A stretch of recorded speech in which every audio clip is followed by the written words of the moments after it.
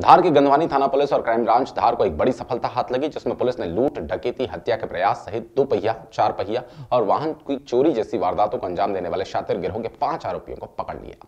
पकड़े गए आरोपियों के गिरोह ने धार सहित आसपास के जिलों में कई वारदातें की थी। खास बात यह कि हत्या के आरोप में जेल में आजीवन सजा काट रहा अमझेरा निवासी हिम्मत कहेड़िया भी अपने भाई की हत्या की सुपारी देने में शामिल था। वहीं 6 नवंबर को जीराबाद अवलदा मार्ग पर व्यापारियों के साथ हुई चार लाख नगद की लूट में भी यही शातिर चोर शामिल थे। पुलिस ने हिम्मत से कड़ियों के अलावा विनोद परमार बावड़ी, चौक थाना गंधवारी नटवर और राजवीर उर्फ़ बन्ना जादौन निवासी ग्राम बोलाई, जिला शाहजहापुर राहुल नरे, निया थाना देवास गेट जिला उज्जैन और गजेंद्र सिंह राजपूत ग्राम बोलाई जिला शाहजहापुर को भी गिरफ़्तार किया। और इनसे एक देशी पिस्टल एक बारह बोर देशी कट्टा दो ज़िंदा कारतूस घटना में प्रयोग की गई कार सहित कुल तेरह लाख रुपए का सामान भी जब्त किया। छः तारीख को एक लूट की घटना हुई थी थाना गंदवानी चौकी जीराबाद में।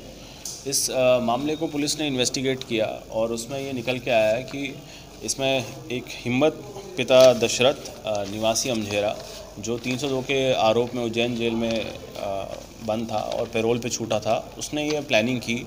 उसका एक दोस्त है विनोद, जो गंदवानी का रहने वाला है। उसके साथ मिलके इसने एक कॉन्ट्रैक्ट के लिए प्लानिंग की, जिसमें इसका एक चचेरा भाई है राकेश, उसको मारने का इसका प्लान था। इसने एक तीन लड़के जो उज्जैन के रहने वाले हैं, नटवर, राहुल और गजेंद्र, इन लोगों को हायर किया और दो लाख रुपए में इनकी बात फाइनल हुई, जिसमें इसने बीस हज़ार रुपये उनको एडवांस दिया। इन्होंने पहले रेकी किया राकेश का। राकेश जो है, दूध का व्यवसाय करता है गंदवानी में।